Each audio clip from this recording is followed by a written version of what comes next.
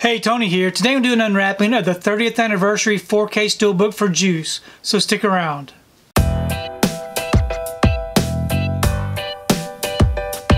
So today I received my order for Juice. This is a 30th anniversary edition Steelbook featuring the 4K Ultra HD and the digital. Here's the front of the Steelbook and here's the back. If you'd like to check out these special features, you can go ahead and pause and do so. I'm to go ahead and remove this from the wrapper and we can take a closer look at this steelbook. Okay, I've got the wrapper off and the J card removed. Here is the front of the steelbook.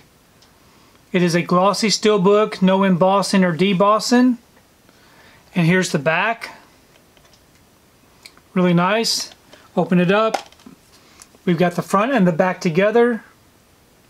Really nice looking artwork. Then on the inside we do only have the one disc, the 4K disc and of course the digital code, no disc art.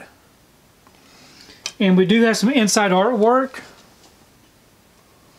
So overall it's a really nice looking steelbook.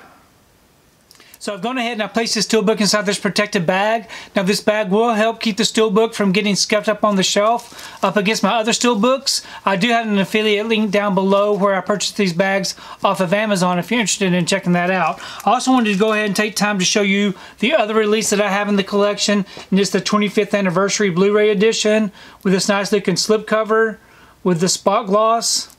So very nice to have this one in the collection. And it's also nice to have the 4K edition in the collection. Please leave me a comment below. Let me know what you think about this particular unboxing. And also let me know what you think about the movie Juice. I really do enjoy reading your comments. If you like what you saw here today, please give it a thumbs up and share the video. If you haven't subscribed to my channel, I really appreciate it if you would subscribe.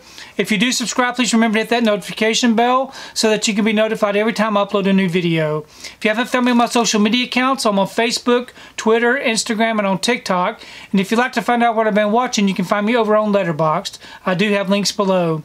But thanks again for watching, and we will see you next time.